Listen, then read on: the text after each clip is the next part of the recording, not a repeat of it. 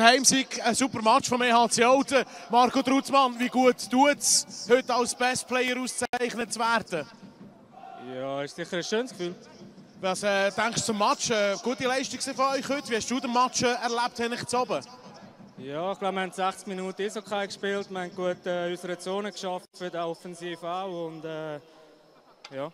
Er hat den Match eigentlich über 60 Minuten im Griff gehabt. Am Anfang war Fisch ein bisschen aufsässig. Äh, was ist so gelegen, dass wir heute souveräne Leistungen können auf sein zaubern ja, Es hat einfach alles gestimmt und das ist gut. Jetzt äh, haben wir immer noch viele Verletzte, die wir haben. Äh, wie schwierig ist es noch, dass man hier recht komplett kann spielen kann? Wie schwierig ist das für euch?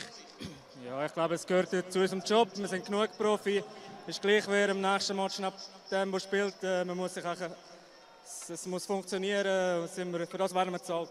Man hat jetzt doch in den letzten vier gute Matches gezeigt. Man hat sehr wenig Goal bekommen, wenn überhaupt. Jetzt am Sonntag äh, geht es auf Langenthal. Wird man jetzt dort wieder ein Bein stellen Ja, sicher. Jetzt haben wir vier gute Matches gehabt, immer ein bisschen quasi Junioren und jetzt quasi am Sonntag ist ein richtiger Gegner und es geht sicher herzu.